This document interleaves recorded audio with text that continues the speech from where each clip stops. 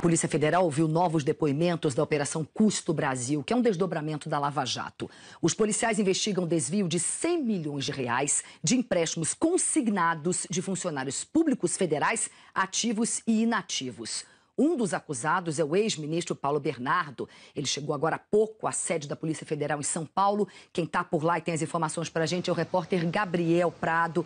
Gabriel, boa tarde para você. Gabriel, quem já foi ouvido hoje?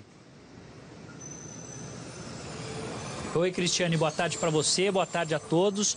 Paulo Bernardo chegou à sede da PF aqui na Lapa, na zona oeste de São Paulo, por volta das 4h20. A Globo News foi a única emissora que registrou com exclusividade a chegada do ex-ministro do Planejamento. Como você disse, ele foi preso no final de junho na Operação Custo Brasil, que é um desdobramento da Operação Lava Jato. Só para a gente recapitular. Paulo Bernardo foi ministro do Planejamento na gestão do ex-presidente Luiz Inácio Lula da Silva.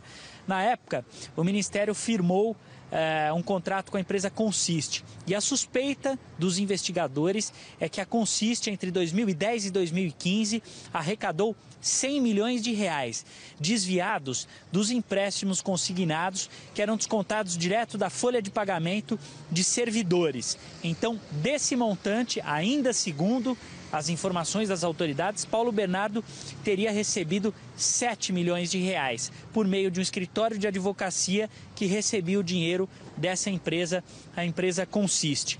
Foi uma passagem rápida do ex-ministro aqui na porta da Polícia Federal. Ele chegou pela rua Hugo Dantola, passou pelo portão 1 e quando se preparava para subir a escadaria aqui do prédio da Lapa, foi abordado pela nossa reportagem, é o que a gente vai acompanhar agora.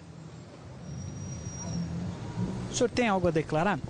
Vou declarar lá para o delegado. Como é que é? Qual que é a expectativa aí para o depoimento? Vou esperar o que ele me perguntar, vou responder. Estou à disposição do, do delegado. Como é que o senhor analisa essas suspeitas contra o senhor? Eu não sou analista, eu vim aqui fazer meu depoimento, vou esperar que ele, que ele me pergunte e vou colaborar.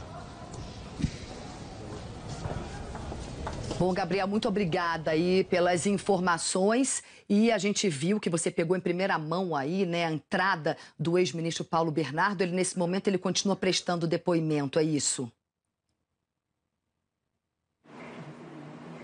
Ele entrou às 4h20, não há uma previsão para se encerrar esse depoimento, vai ser ouvido pelo delegado federal.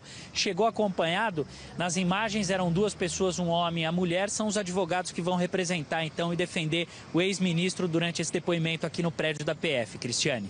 Gabriel, muito obrigada mais uma vez. Qualquer novidade, você chama a gente aqui. Bom trabalho para você.